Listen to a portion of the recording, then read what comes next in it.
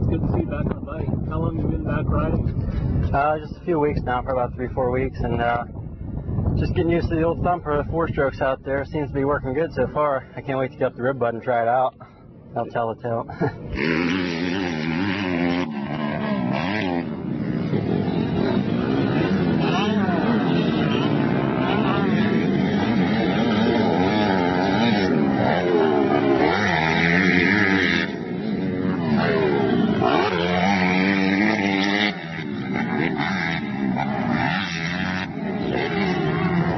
definitely a little getting used to. I mean, the really only difference is the uh, the cornering on it. You know, once you figure out how to corner it, everything else falls into place, and uh, I think it'll benefit my riding style.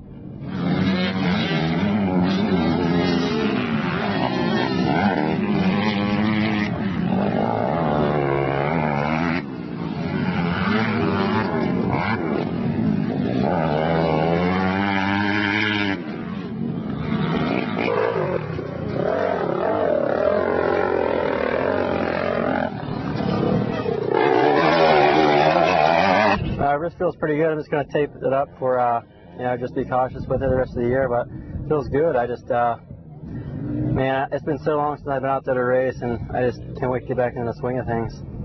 Definitely makes the uh, makes the recuperation a little easier. You know, not being the throttle, just gotta set it on the clutch and uh, just pull that thing in and out.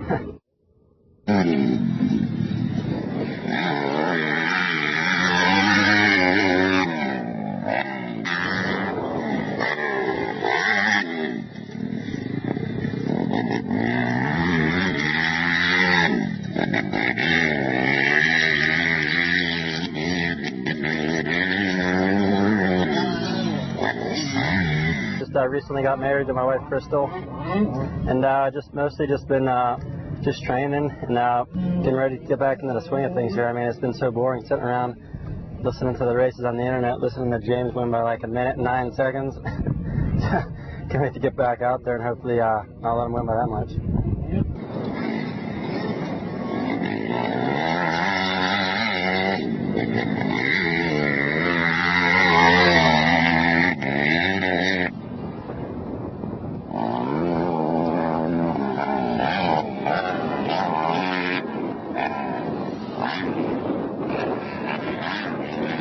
Well, actually, my first race back in Red Bud is to get actually get a top five because I feel I've been working hard and I deserve to be up top five for sure. So just got to go there, get some uh, get some good starts, and I know I'll be able to last full moto fairly easy.